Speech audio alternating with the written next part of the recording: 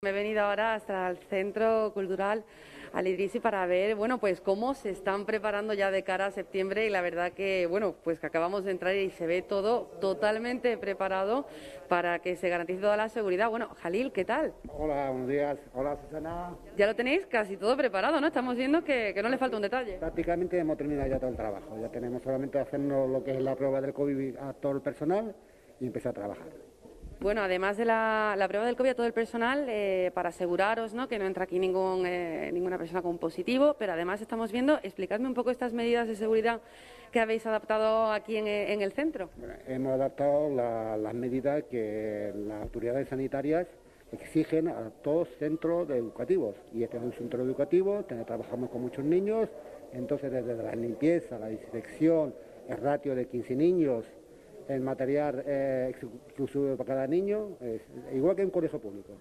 Estamos viendo, mira, si echamos un poquito para atrás, vemos aquí incluso, nada más llegar, desinfección del calzado. Eso es lo primero, por supuesto. Una vez que nada más que entre, los niños entrarán además poquito a poco, los padres tienen prohibida la entrada totalmente, solamente pueden ir la administración y los críos en, uno- en un metro y medio de distancia.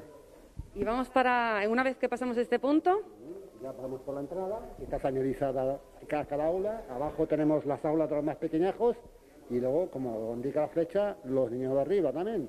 Se han- han- hemos abierto también todas las salidas, que antes solamente teníamos una salida y ahora hay cuatro salidas para los críos.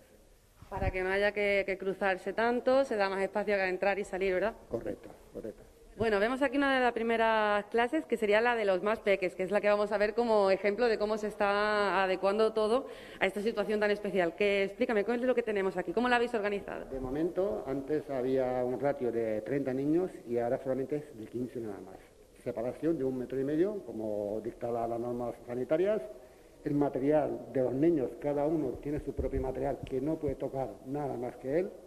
El profesor tiene que trabajar con mascarilla, con sus guantes y, por supuesto, con su certificado de que está sano, es lo principal.